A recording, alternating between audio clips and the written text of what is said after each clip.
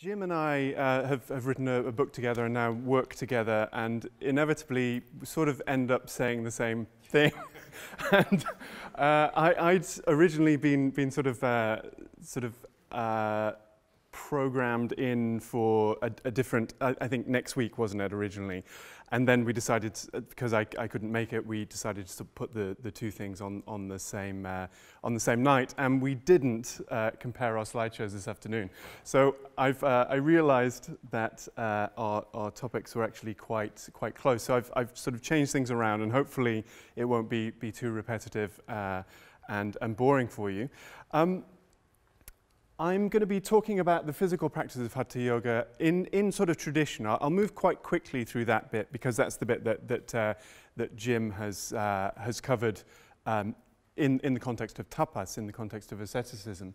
Uh, and, then, and then in the second part, have a look at modernity, at that where, where we wrapped up with, uh, with Jim's, uh, Jim's presentation, where you have this kind of uh, bizarre kind of feedback loop of this, this yoga that has sort of expanded around the world and now is sort of, you know, being reflected also in traditional practitioners and then reflected back. And so we'll have a look at those kinds of processes, sort of, you know, bring the history up to, uh, if not the present day, at least the, uh, the recent present. Um, I'd, I'd question the, the term physical yoga to sort of indicate hatha yoga or um, the, the, kind, the kind of yoga that, that we're working on at, at SOAS um, is, is an imperfect one insofar as what's physical and what's, what's not is, uh, is up, up for question. So when we think of physical yoga these days, we also think of, uh, we, we mainly think of, of postures. And in fact, that's what I'll be, I'll be talking about tonight, posture practice, um, asana. But of course, there, there, are many other physical yoga practices within Hatha Yoga and, and, outside of Hatha Yoga. And in fact, one might argue that no matter what one does, prior to those uh, most refined and rarefied and elevated states of non-cognitive samadhi, uh, are, are, all physical in some respect. So from, from the, the gross kind of uh, the, the cleanings, the, the shatkarma of, of, uh, of the Hatha Pradipika, say, where you sort of wash the body out with water, uh, for instance, um, to those, those uh, you know, to, to, let's say, through asana, pranayama, meditation practice, samadhi practices, including listening to you know, the subtle sounds, are all kind of embodied. So in a sense, that physical yoga is, is much broader than, than merely asana. We are sort of embodied human beings after all, at least, at least for the time being. Uh, and that, in some sense, in some senses, is, is the problem. As, as Jim has said, uh, Jim mentioned, you know, today that there's an emphasis on, on yoga as a kind of uh, to, to, to, well, to build the body, and we'll, we'll see examples of that later, how that sort of comes into the vocabulary of yoga. But that actually a lot of those practices were to diminish or uh, desiccate or um, refine the body out of existence and all its physical elements. Of course, in the Sankhya system, you know, we start, let's say, from the bottom with, with the, the grossest elements, but materiality goes all the way up through the mind as well and into the sort of, you know, further reaches of, of, of the mind. So, you know, we're sort of, we're sort of caught in the material. So, uh, the, you know, the, the, phys the, physical, the word physical is, uh, is always kind of uh, a, a, little bit, a little bit fluid, a little bit uh, porous. Uh, th this is where the, the, the, crossovers start. So uh, this, this is the, uh, the seal that, that Jim was talking about. I'm going to be saying, I'm going to try and not say, as Jim said.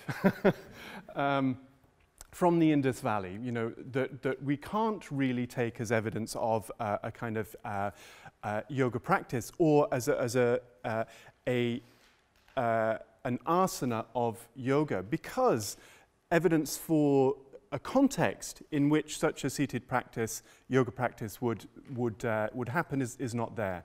So um, uh, you know, some people have argued that this is in fact a Eurasian tree god. It's not, it doesn't have anything to do with yoga, it doesn't have anything to do with Shiva. So to, to make that leap, I think, is, is a, um, it's, a, it's a difficult leap anyway.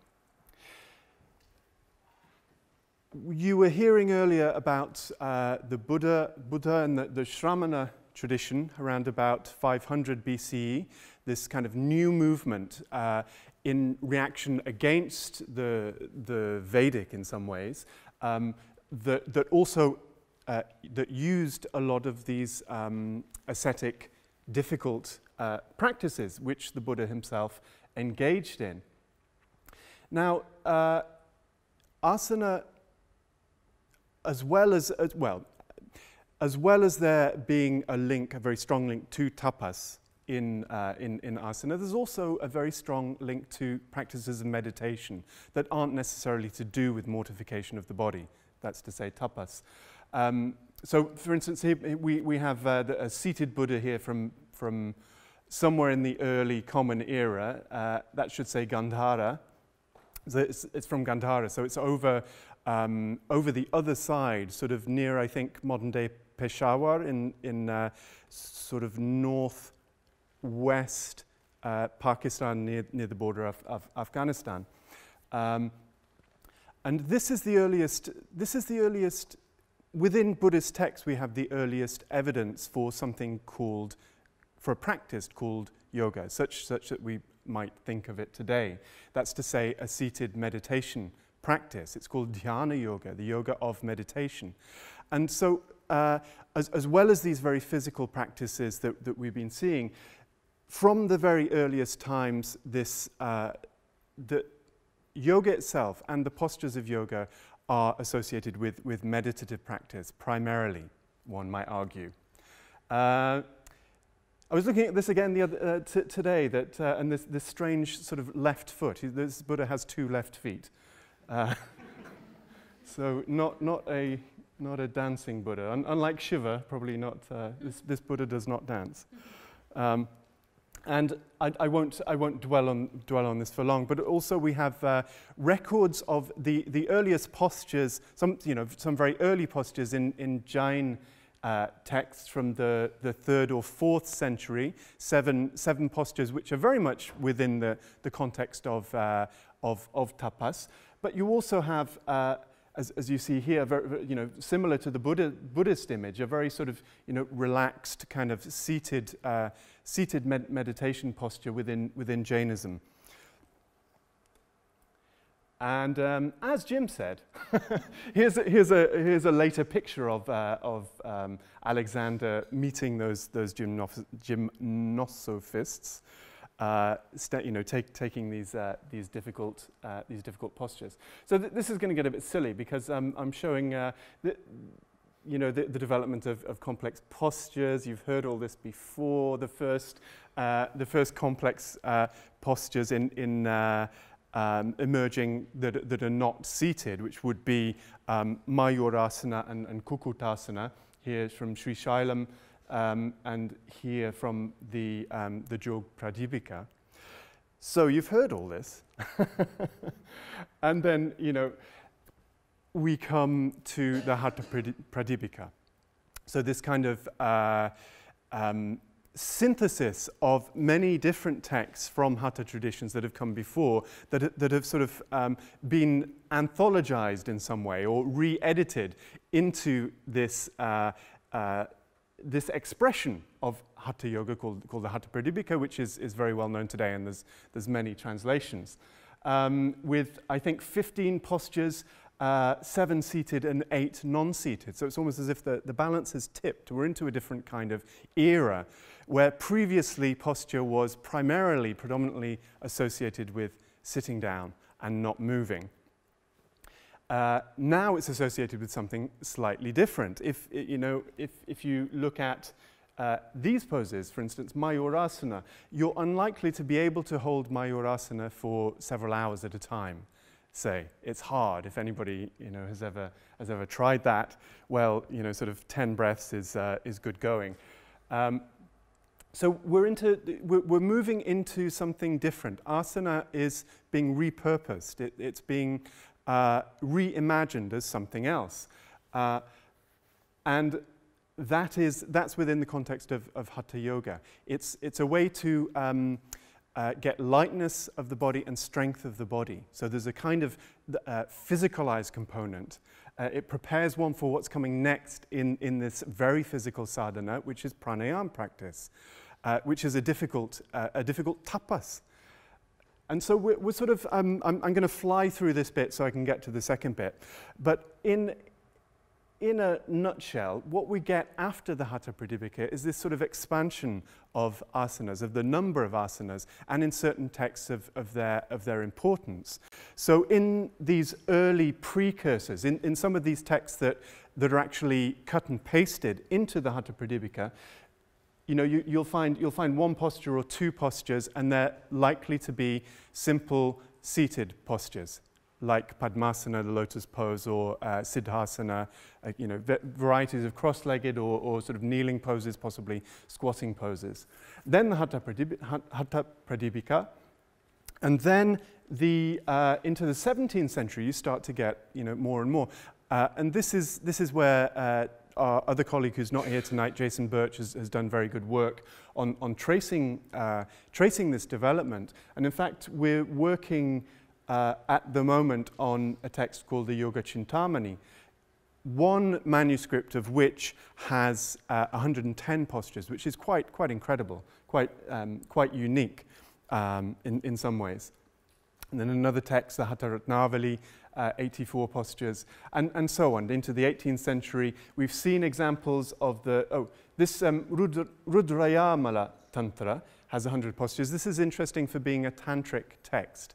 I, I think, I think I'm right in saying that uh, it's, it's unusual for have, to have so much emphasis placed on asanas within, within a tantric text. They don't usually emphasize that. Uh, and then the Jog Pradipika, we, have seen those pictures of uh, the, the Mayurasana earlier on the, on the left there. That's from, from an illustrated manuscript of that. And then finally, and I'll talk about this in, in uh, a bit more detail now, the Hathabhyasa Paddhati, which is another one of the texts that we're working on at SOAS. So uh, the Dattatreya that, that Jim's already, um, already done a lot of work on, the Viveka uh, Yoga Chintamani, and this one, the Hathabhyasa Paddhati, are one, two, three, four of, of the ten that we're working on. Uh, this is a picture, this is from this, uh, the Yoga Chintamani. It's got three different lists of, uh, of postures and includes this kind of table, this alphabetical table where, you know, that, has, that arranges the, uh, uh, the postures according to alphabetical order. So it's quite unique and, and quite sort of a, uh, a scholar's job, if you like. You know, somebody's trying to sort of make sense of all this and, and organize things. So we're at quite, quite an interesting moment in history. This one is the Hathabhyasa So this is the first page on, on the left here, uh, quite uh, damaged in, in places. And this is an example from later on in the text. So it's not, it's not just a text about asanas, uh, but it, uh, it has other material, in particular, a long description of um, Vajroli Mudra, which uh, I, think, I think you mentioned, Jim. Uh, but we have lots of descriptions of uh, asanas. We have 112 of them. And they're arranged like this often on the, on the page with blanks. So that's unusual. Usually because paper is expensive, you want to fill up the page. But um, there's, there's gaps left between the descriptions of the postures. And that, we presume, was, uh, was to later include uh, images, which never, got, which never got done. This, uh, this text has, um, was copied, or a, uh, a third sort of original text was copied uh, almost word for word into a text called, a 19th century text called the Sri Tattvanidhi, which some, some of you might know, um, that was composed in Mysore in the middle of the 19th century, uh, and that was, images of which were published uh, in uh, a book by Norman Sjoman, called the Yoga Tradition of the Mysore Palace because that's, that's where it was, uh, it was composed. That's where this text was and, uh, and is, or at least you know, some of them. There's, there's a few copies. And uh, so the, the, uh, the Sanskrit, the, the script is different, but the, the Sanskrit's the same. The verses are the same. There's more postures in the Sri Tattvanidhi. There's additional postures. But the difference is that they've been, they've been rearranged. They've been sort of jumbled up and arranged according to the redactor's notion of, of, uh, of, of how, how things should be. So he says that there should be 80 principal postures. There are 80 principal postures, so he pulls them out of this original text, the, the Hathabhyasa Paddhati, and puts them together, 80. Then the rest he, he sort of calls additional asanas and sticks them at the end. Now the problem with doing this is that you lose the point of the Hathabhyasa Paddhati, and you lose, the, you lose what makes it uh, actually an original and quite unique text, uh, as far as we know, and that's that it describes what appear to be sequences of postures. In most texts uh, that we know of, the, there are no sequences. There's no real sense that you can uh, sort of move from one, uh, one posture to the next. Um, sometimes, as, as is the case in, in, uh, in the Hathabhyasa Paddhati, uh, postures are named, and then, you know, you, in, in another posture it says, having assumed that pose, then do this. There's, there's that sort of thing goes on. But I think in, in this earlier text, so we're comparing these two texts, this, this earlier text, it's quite clear that there are actually uh, distinct sequences. And uh, we have, in collaboration with uh, Ruth and Aggie, who are, who are sitting here, hello, uh, just uh, made a, a film ab about this sequence um, ab about this text uh, that we'll be that we'll be putting out well once we've got it uh, we've got it finalized.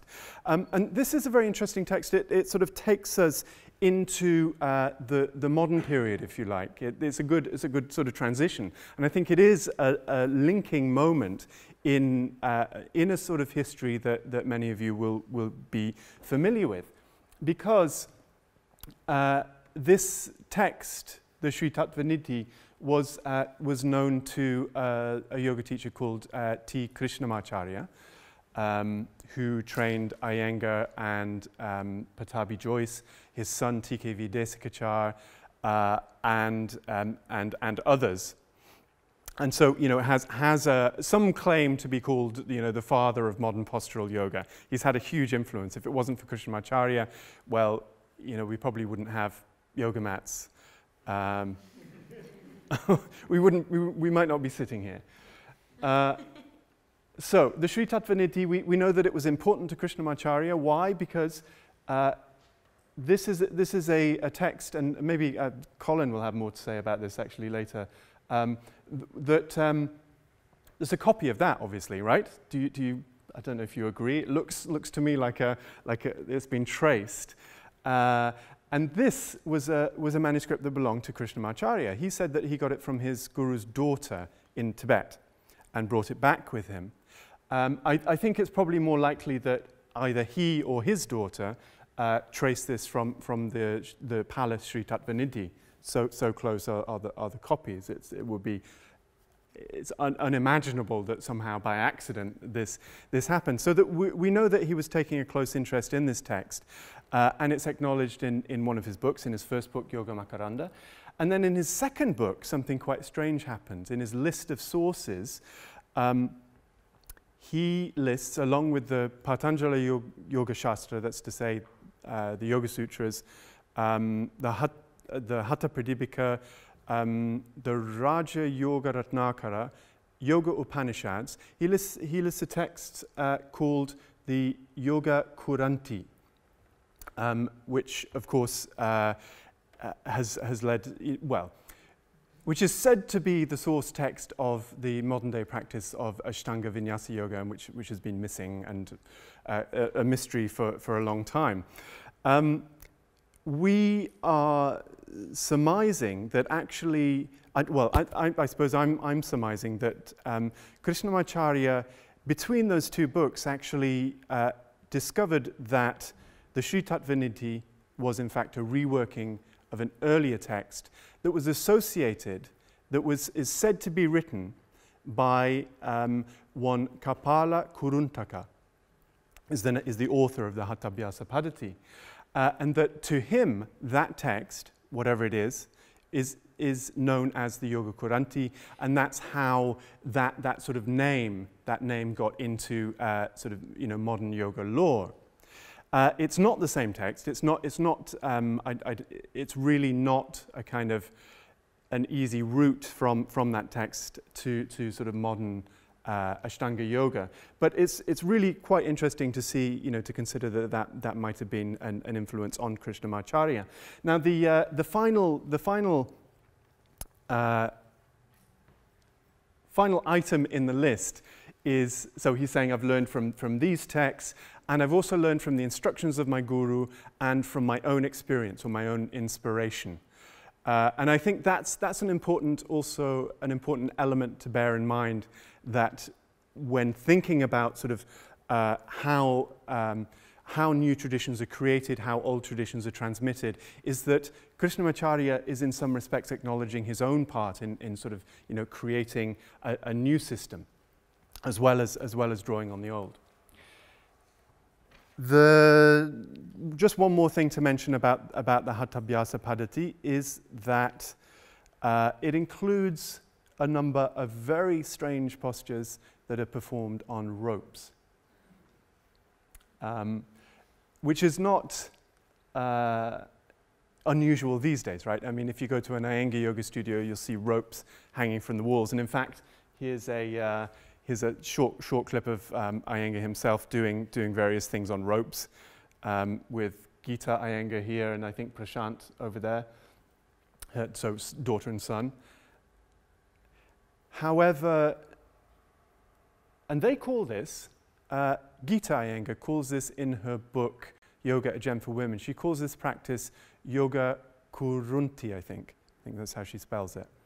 Uh, saying that Kurunti means puppet but possibly, who knows, you know, it's a little speculation, but possibly that is also a reference back to this text, the Yoga Kurunta, uh, which includes these ropes, and that's, that's how Krishnamacharya explained it, possibly to, uh, to Iyengar himself.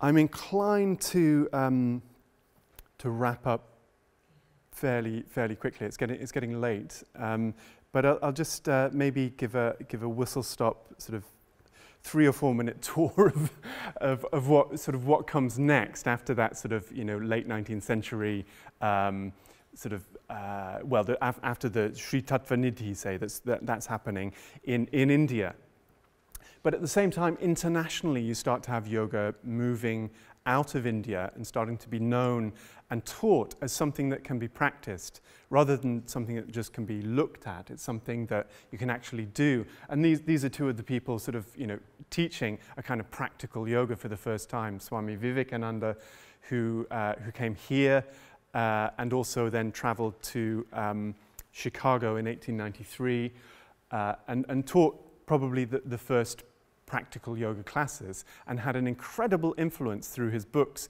in particular Raja Yoga. And this, this uh, history might be familiar to many of you. And of course, uh, Madame Blavatsky, she's looking a bit blurred and slightly, slightly scary as ever. uh,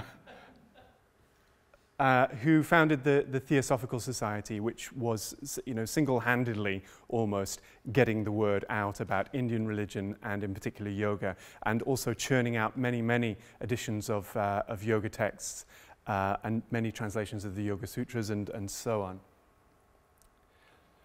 But then you had these sort of um, ambassadors like Vivekananda uh, and Blavatsky who were not teaching postures, crucially. They didn't much like Hatha Yoga or Hatha Yogins. And you can sort of guess why, really.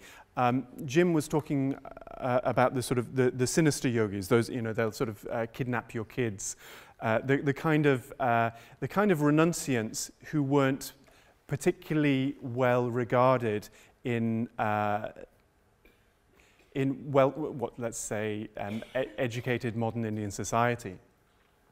And another reason why you might want to stay away from, uh, from Hatha Yoga is because of its association with magic and Western occultism. So Hatha Yoga was being taught by the likes of um, Max Wilke here, uh, but it was being taught as magic. and yoga more generally and tantra were being taught as sort of black magic by the likes of uh, Aleister Crowley here, who authored, uh, you know, uh, a, book on yoga, a commentary on the Yoga Sutras, in fact, but who was mostly interested in magic. And you also had the association of yoga with contortionism. And this is probably the earliest uh, yoga demonstration on British soil in, from about 1893 as well, I think, that was at the Westminster Aquarium, a very uh, um, accomplished yogi called Baba Lakshman Das. But nobody's doing it. Nobody's doing it. So we have to wait. We have to wait. I'm, I'm squeezing, I'm, I'm, sort of, this is a very, very potted history here. Uh, And then, in my very simple story, what happens is that uh, the postures of yoga, within that movement of modern yoga, that new interest, that global interest in modern yoga, uh, the asanas of yoga become associated with physical culture, with keep fit. Obviously, there's a continuum with what we saw from in, within Hatha Yoga, that concern for the lightness of the body, the firmness of the body, uh, a sort of health within from, from Hatha Yoga. But here it starts to have this strange new life where it gets, uh, gets bound up with this uh, global physical culture movement and bodybuilding and gymnastics and so on. Uh, and I won't, say, uh, I won't say much more about that. I've written about it in, uh, in my book, Yoga Body. Um, And this is the time also when Surya Namaskar starts to be sort of introduced into yoga. Previously, Surya Namaskar was not a part of yoga. We have, uh, I think, only one reference to it in the Jyotsna commentary, the 19th century commentary to the Hatha Pradipika, where one is instructed not to practice many uh, Surya Namaskars, uh, nor weightlifting, because they, they damage the body. Um, which maybe, I, I, keep thinking that that might be an indication that actually people were practicing Surya Namaskar as part of yoga already, and hence the, the need for the, the, uh, the warning.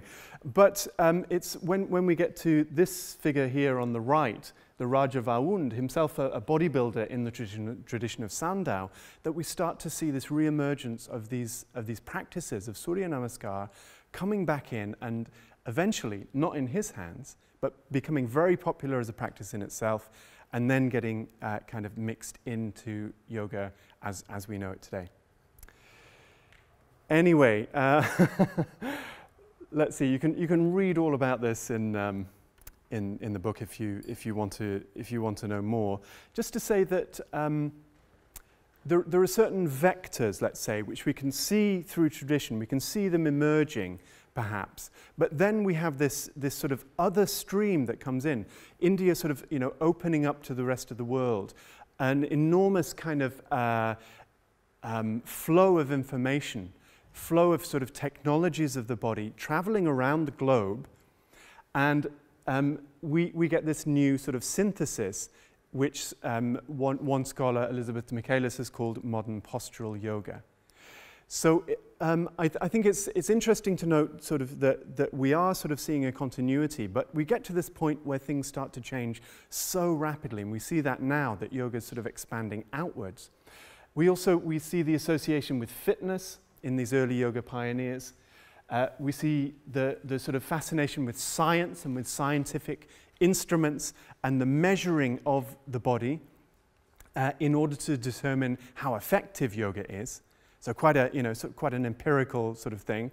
Uh, and I, th I, think that's sort of encapsulated by this, this image here, which is, has been my favorite, favorite picture for a, for a while now of Swami Shivananda, one of the early gurus of, of uh, a kind of modern yoga, sitting here with his stethoscope on the heart of a yogi such that the yogi's own internal vision, his yogi pratyaksha, is no longer sufficient, but modern science must intervene in order to to see inside, inside the yogi. Um, there's lots more to say, but um, I, I, think I should wrap it up so we, we can all, uh, uh, we, we, can have some questions. And uh, what, what, do you think? Is that a good idea? Yeah. yeah. Okay. Thanks very much. So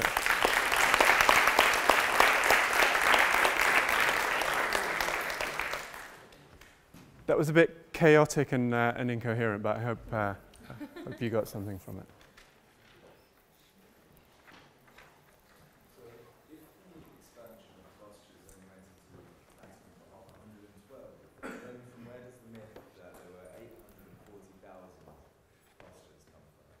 Uh, is that first in the Viveka Martanda?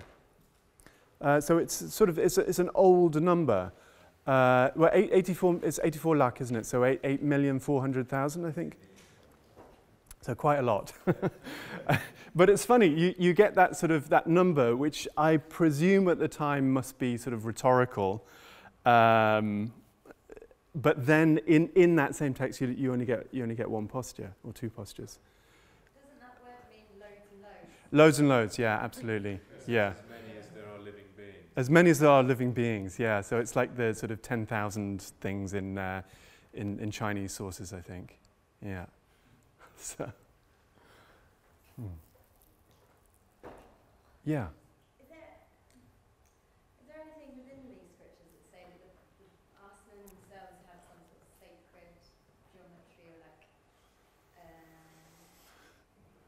Mm, no, not, not that I can think of. I mean, they, they do, they do they're, they're not purely physical. They, you know, in, within Hatha Yoga, they, they move uh, certain, you know, certain energies in certain ways. They stimulate the digestive fire. They, uh, they're part and parcel of a practice which refines a physical substance, often in, in one sort of frame, that's to say semen, into something that's not quite physical, that's more of a, you know, moving towards a spiritual principle. But that sacred geometry thing, no, I don't think so. There's, there's, you do get that sort of thing in, um, in some tantric texts, like there's an early tantra called the Nishvasa Tattva Samhita from the, the 5th century, which describes a sort of, you know, the, the practitioner putting himself into, into certain sort of geometrical uh, patterns. But it's, I, I don't think it's not within the, the yoga section, is it? That, uh, it, and it's sort of, you know, it's sort of the, the way the body is shaped, like the gaps between the teeth are, are significant. And the letters of the alphabet. It's the letters of the alphabet, exactly.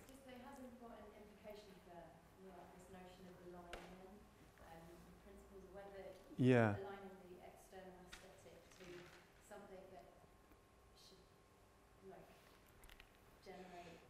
Yeah. Well, alignment is certainly is certainly important um, in in one sense, and you know, in the sitting postures. You, there, there, in fact, um, I was going to read out a passage from uh, um, the commentary attributed to Shankara on, on Patanjali's on, on Patanjali, um, which has you know, which is, is very precise about about how you should be how you should be sitting in, in your Padmasana. It's not just right leg on left and, and you know left thigh and so on. Um, th there, there is, there's an awful lot of that, um, that kind of instruction, but the kind of alignment that we get in, uh, let's say, modern, uh, in Iyengar's system, I think probably you'd look for your sources elsewhere from, from a kind of uh, notions that aren't necessarily from within older yoga traditions, but come from well, the idea that, that by putting, putting your body in, into a certain shape, you can open up, open up sort of flows of energy, or you, you can uh, you know, access a kind of, uh, you can access prana in, in a different way by, and you, you see similar kinds of thing in, um, in chiropractic theory, osteopathy and things like that. Um, so my, my sense, my guess would be that that idea of alignment and perfect alignment within posture is, is quite, a, quite a modern thing that's informed by, by these, other, uh, these other theories of the body, I, I think.